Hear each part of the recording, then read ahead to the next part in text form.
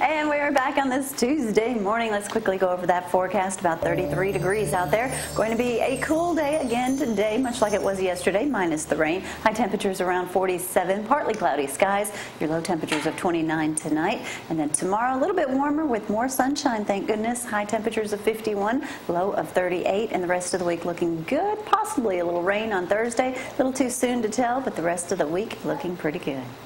All right, Dan Totten joins us this morning over on Jefferson Street. Where you been since when? Goodness, They paved Since the road. uh, 1979, long time. Been time. in that same location that long? I have been. Since 1979. At least everybody should know where you are. Right. So about how many divorces you figure you've done? if you got divorced in Limestone County, they came through you, right? Well, I've done a few.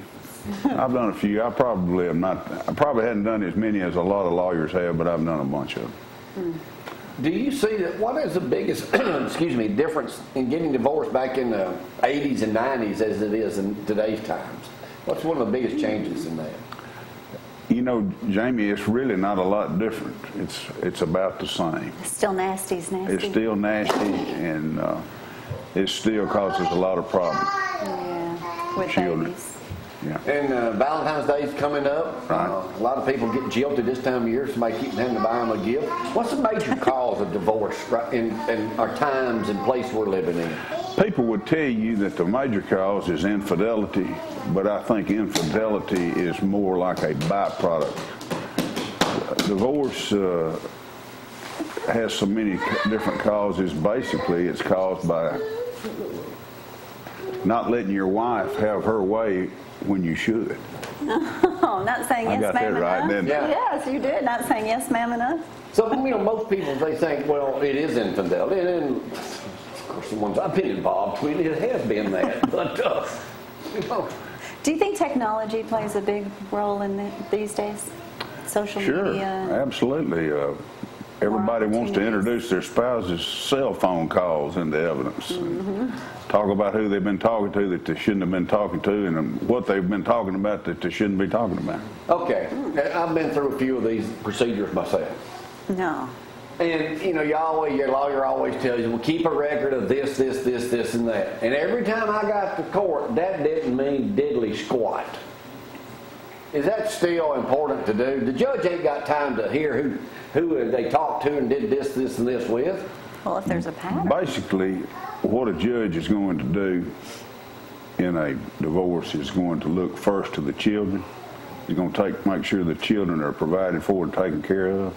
Then, as far as the adults are concerned, he's going to treat it like a partnership that started on the date of the marriage and ended on the day of the separation or the date of the filing of the divorce case, and he's going to divide it as he or she finds uh, equitable, with due deference being given to uh, things like domestic violence and extramarital affairs. But they don't play as much uh, a role now as they used to. This Really? Is, this is 2015. Common. It ain't 1985.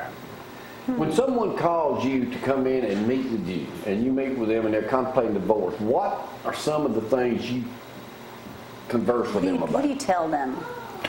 Well, they want to know how much it's going to cost, First and foremost, first and foremost. there is no set fee, though, is it? No, it's an hourly charge, and it's going to cost just exactly what you want it to cost. If you want to call up every 15 minutes and talk about the weather and about deflate gate and things like that, it's going to cost you more. But and that uh. Oh, absolutely. No, because you're mad. You Oh, want answers absolutely. now. Yeah, people want to talk about it, especially ladies. You know, they always want to talk about it. But uh, it costs what you want it to cost. Because I know when I was going through one of these procedures, and like I said, I've been through several. You always want to know right now. Why can't I get in touch with my lawyer right now? You ain't gonna believe what they just did to me. You're not gonna believe this facts back in those days. I just got or whatever. Or they didn't let me pick up my child Yeah. today, and there's nothing Come you can do until you get in court. Well, what I try to tell people is that when you're going to get divorced, you you're going to get one of two things, Jamie. You're going to get what you agree to take, or you're going to get what the judge gives you. Now, a lawyer can't instruct you on what you'll agree to take, but he can tell you the likelihood of what the judge is going to give you, and you can go from that. If you want to talk about other things that are collateral, rabbit trails that we get on, that's your business. How many times have you told somebody basically what the judge is going to do, only for them to say, I'm speaking from a man's point of view mainly, say, no, that's not right, here's what I think we ought to do. Last one I had, last one I tried, exactly the same way. Well, I don't care what he does, I want to, my story to be heard. Well, we got it heard. Wow. And it doing good? Well, it, the, what happened is what I told him was going to happen. Exactly. Yeah. Wouldn't it be cheaper for that person to go to see a counselor and get it all off their chest instead of trying to do it in court? Well, you can't uh, get much marriage counseling from a lawyer, and you sure ain't going to get much from a judge. Exactly. That, Good that point. is excellent advice. So if you're contemplating divorce, DanTottenLaw.com right there, or give Dan a call and make arrangements to see him. Let's change subject a little bit here and get on this, this gay couple thing. Explain what happened Friday afternoon when that Mobile judge did what she did. What does that mean? she- What State she, Alabama. She is a district court judge, a trial court judge, and she ruled that uh, Alabama's law banning gay marriage was unconstitutional. Luther Strange then filed a request for a delay in the imposition of her finding to give him an opportunity to file an appeal to the 11th Circuit Court of Appeals.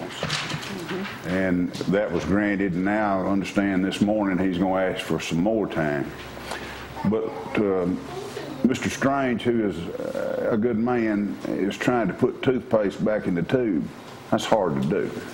It's already been let out. And in what way is he trying to do that, in your opinion? Well, he's trying to get uh, the courts to change their mind in the face of the whole country changing, uh, in court systems uh, across the country changing their position on this. And the matter is in front of the Supreme Court of the United States now at any rate. So we're going to get some direction from the folks at the top, and I'm afraid uh, you know what that direction is going to be. Here's a comment made on AL.com, not a comment, a a written article says, Christian conservative values. In other words, Alabama will fight like hell to preserve an old status quo that courts are over are ruling unconstitutional, while an increasing number of states pass laws to remove the governmental barriers that have prevented people who love one another from marrying each other. Then it goes on and says Alabama will lose. It says the American people, including many Alabamans, have decided that gay marriage does not mean that society is coming apart to seams. This was a quote here by somebody that you told me about that I should have a great opinion on. From Martin Luther King said this: "There are the arc ARC of the moral universe is long, but it bends toward justice." Then it goes on to say, "Klein, "The long fight over gay rights now bends toward justice." Says the second reason is because that the law banning gay marriage has been struck down in the last place you would ever expect that to happen, Alabama. Right. And it goes on, one of the other articles that we had said, how many gay people do you know, do we know, that are either your children, your relatives, a friend you go you go to, go to church with, work with, or a parent of somebody you know? It's, Or sibling. There Everyone is no stopping gay this, is person. Well, let me put it this way. I think that that parents who are opposed to this, people like Dusty McLemore, are going to be a lot more successful in their arena, the churches, or the home place, uh, than they're going to be in the court because of what you mentioned when the program first started. Uh, gay people have the same inalienable rights that you and I do, and a court system is not going to impose their morality and call it the law.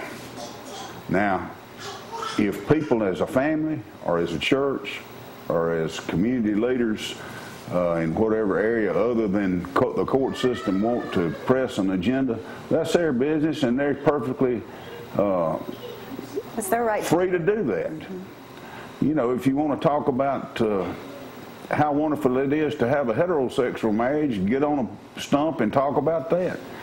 But court's not the place. So does that mean, is this, does this open up the door for more lawsuits? Say like if Dusty McLemore refuses to perform a gay marriage, he just, he doesn't believe Well, in it, he's he not doesn't gonna want to do do that. it. He told me that Right. yesterday He doesn't want to do it, he doesn't believe in it, and he refuses it. Can and I that wouldn't couple, expect him to do that. can that couple come back and sue him for discrimination? Well, Sue for anything. you can sue for anything. The question is, Will they Can you win? win?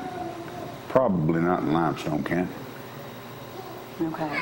But in your on the area. professional opinion, gay marriage is going to happen sooner rather than later in the It's state going of to Alabama. happen. Oh, it's, it, It's it here. is the law right now. Mm-hmm. It's been, a stay's been put on it to allow an appeal to be filed, but it's the law of Alabama as we sit here and speak. So when will Judge Woodroof, probate judge in Limestone County, issue, Depends on the he's state. got to wait till the stays open. Once the stay's lifted, I mean, it will happen. oh, yeah. It could be extended, but it will eventually happen. Dan Totten, divorce attorney, criminal defense, he and Lucas down on, Dan Totten right there. Jefferson, go by and visit where he's been since 1979. Thank you, sir, Thank for you. your comments this morning. We'll take a break, be right back with City Council President Jimmy Gill. Y'all hang on.